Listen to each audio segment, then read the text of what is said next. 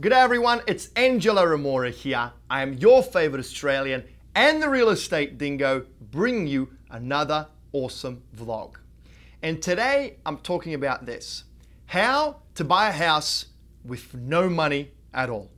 Let's get it started. So, guys, for those of you that have been following me for a while now, you will know that I do not like or believe in this creative BS type investing, buying houses without having any money of your own. I'm a big believer in going out, working hard, two jobs if you have to, saving fifty to hundred thousand dollars in cold hard cash. Prove it to yourself before you start investing that you can do that and then start your real estate investment journey.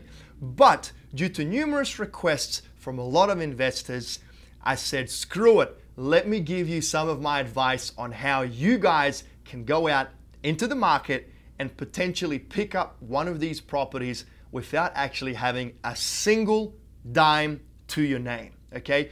So, guys, look, pretty much um, how you can buy a property without having any money at all um, is this. You will have to uh, approach, most likely, a distressed seller that has had a property on the market for quite a while.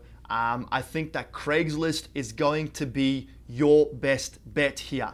Um, you're also going to have to convince this particular individual that you are an expert at what you do um, and that you've done this many, many times before. So it's kind of a little bit cliche um, for all of you that are beginners out there. You know, I, I don't really like these kind of lies. Um, I've always, I've always believed that honesty is the best policy, but ultimately, you know, uh, suit yourself. Um, each their own. Do whatever you feel is right. I personally wouldn't do it.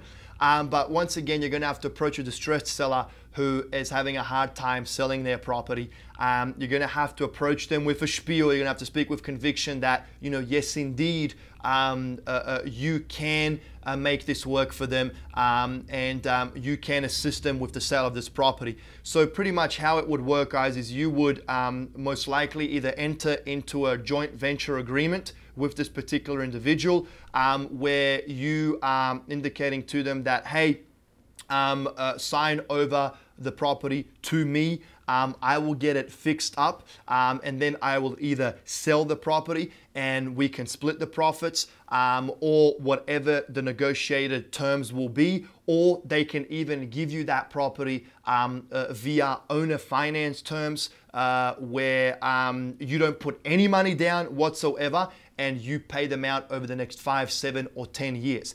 Now, when it comes to the rehab costs, I really don't know how you can go about that, guys. Uh, I mean, you're still gonna have to go and buy supplies from Home, Home Depot, Menards, and Lowe's. I don't know, maybe you can go there and ask for charity, like tell them, hey, um, can you please give me some of this material for free? Uh, I'm sorry, I don't have a solution for you there. I, I mean, you're, you're, gonna have to, you know, get some of your capital and buy some of these materials. Um, another uh, way of not spending much money on any um, labor costs is to do it all yourself.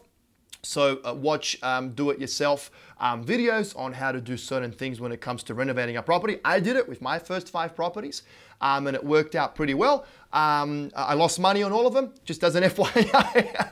um, so nowadays I kind of hire professionals to do it. But look, that's one way of being able to buy a property with um, no money um, whatsoever. Okay, um, is you approach a distressed seller and the, you do a joint venture with them, or they will sell the property to you on terms without putting any money down. Very hard pitch, very hard to do. It is possible though. Okay, another way which has happened to me many, many, many times before.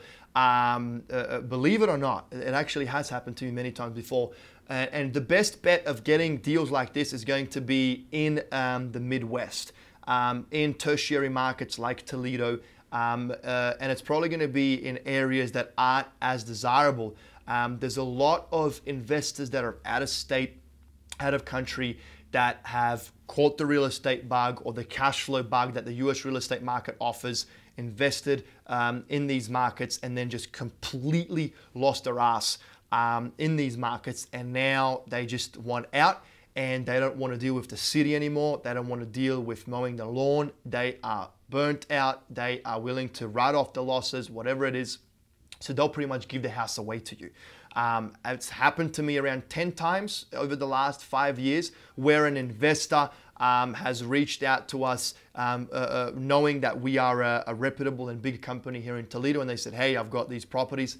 They're yours. Just take them off my hands. And believe it or not, guys, some of them were in such a bad condition that we didn't even uh, um, didn't even take them off the hands because it was more hassle than it was um, uh, uh, uh, worth it. So there are deals out there in such instances um, where you can um, get these properties for free, or alternatively, you're going to have to sell someone on your capabilities um, to sell that property to you with no money down.